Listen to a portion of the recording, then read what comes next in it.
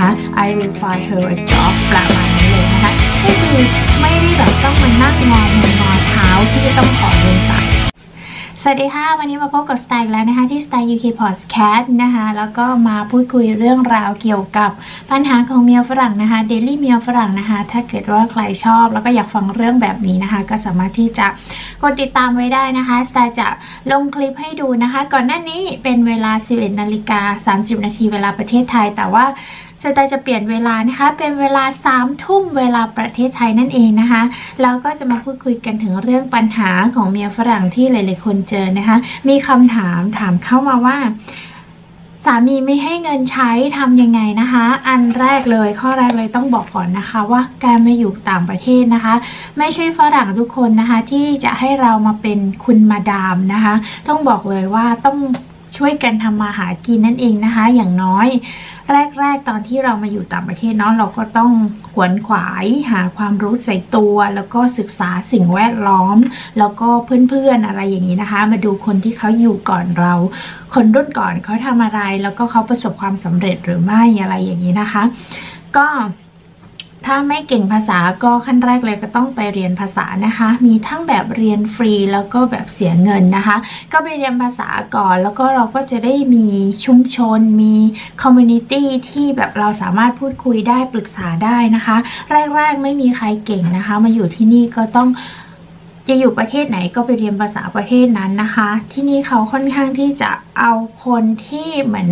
พอจะสื่อสารได้แล้วก็รับเข้าทำงานแบบนี้นะคะ แล้วเดี๋ยวสไตล์จะมาบอกในประเทศอังกฤษมีงานอะไรบ้างที่รองรับคนต่างชาติหรือว่าคนเอเชียนะคะ โดยเฉพาะคนไทยนะคะ มีงานอะไรบ้างที่รองรับ แต่วันนี้จะมาพูดถึง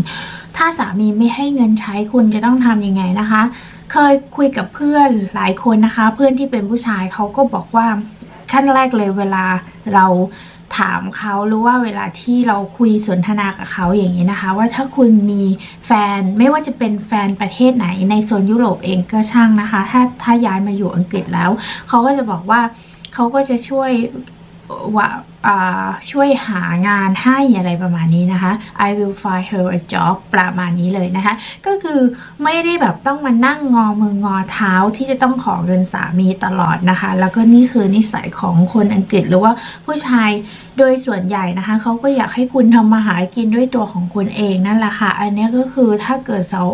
เราทำงานได้แล้วก็มีรายได้เป็นของตัวเอง เราก็ไม่ต้องแบมือของเงินเขา อันนี้ก็ไม่มีก็จะตัดปัญหาตรงนี้ไปได้นะคะ แต่ก่อนอื่นที่จะบอกว่าจะทำงานได้ยังไงในเมื่อภาษาก็ไม่เก่งในเมื่อแบบไม่รู้ว่าจะต้องไปสมัครยังไงนะคะ ก็คือเราไปเรียนภาษาก่อนแล้วก็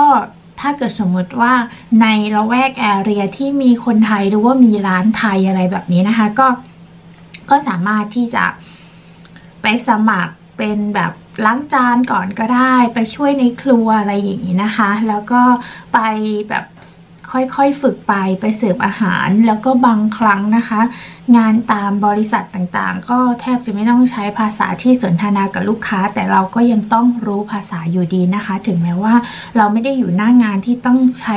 การคอมมูนิเคตกับลูกค้าสักเท่าไหร่แต่อย่างน้อย ถ้าเราเป็นภาษาเราก็ได้เปรียบนะคะ แล้วก็ที่สำคัญบางบางงานอย่างเช่น งานซักผ้างานรีดผ้าแบบนี้เรารับงานมาแล้วเราก็ทำของเราไปอย่างเงี้ยก็คือเรารู้งานเราไม่จำเป็นต้องใช้ภาษาในการสื่อสารกับลูกค้าเยอะ แต่ถ้าเกิดมันได้นิดนึงก็จะเป็นแบบก็จะดีกว่านั่นเองนะคะ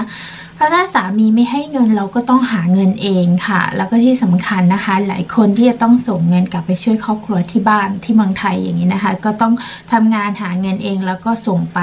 ด้วยตัวเองแต่มันก็จะมีฝรั่งจำนวนหนึ่งที่แบบไม่ได้เป็นเปอร์เซ็นต์ที่เยอะมากนะคะ ก็ยังช่วยเหลือตรงจุดนี้ยัง support ครอบครัวที่เมืองไทย อันนี้ก็ต้องคุยกันให้ดีก่อนนะคะ เพราะว่า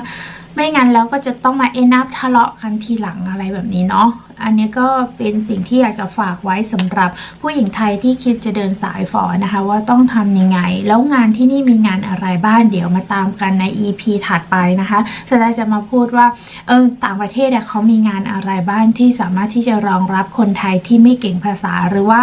แบบเป็นงูงูปลาปลาไม่ใช่แบบจริง ๆ แล้วแค่พูดได้นิดหน่อยก็ทำงานแบบนี้ได้แล้ว เดี๋ยวมาตามกันใน EP หน้าเนาะวันนี้ก็ต้องลาไปแล้วนะคะ Style UK Podcast นะคะ Thank you very much for watching or listening listening to Star UK podcast and I will see you in the next video bye bye for now ขอบคุณทุกคนมาก ๆ นะคะ ที่ติดตามและคอยเป็นกำลังใจให้ Star ที่ Star UK Podcast นะคะแล้วเจอกันใหม่ในคลิปหน้าค่ะ อย่าลืมดูวิดีโอถัดไปแล้ววิดีโอที่น่าสนใจนะคะ สวัสดีค่ะ